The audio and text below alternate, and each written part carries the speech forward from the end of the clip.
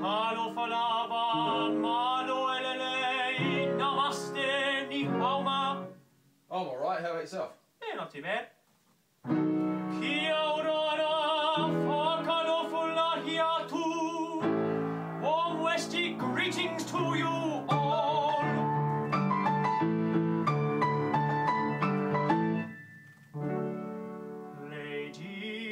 Ladies and gentlemen, today I'm announcing that I am seeking the leadership of the New Zealand Labour Party.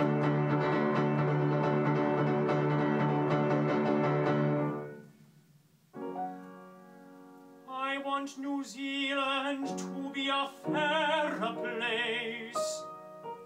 by strengthening, not shrinking, support for our schools and hospitals, by strengthening, not shrinking, the ability of every New Zealander to have a warm, comfortable home, by strengthening, not shrinking, a high value, high knowledge, sustainable economy that will create the value that we all should share.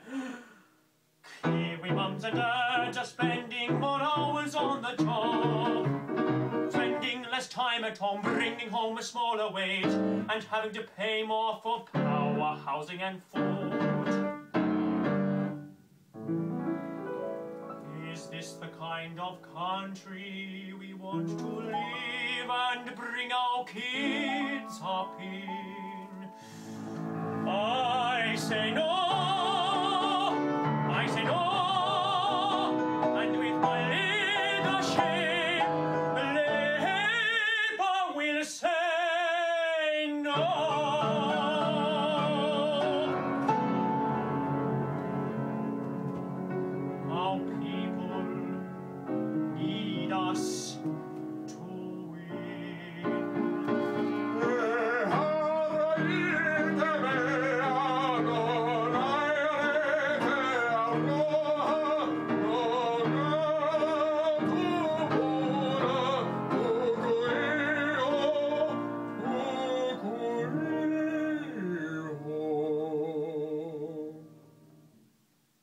Paddy.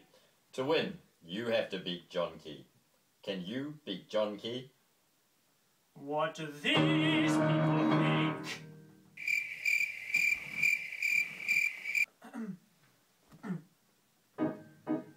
Joined together like a bundle of reeds, we will be unbreakable.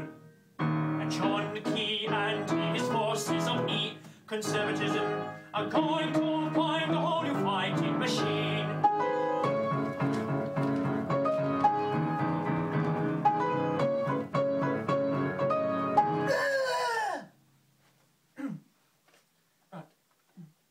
Paddy. What's your message to John Key right now?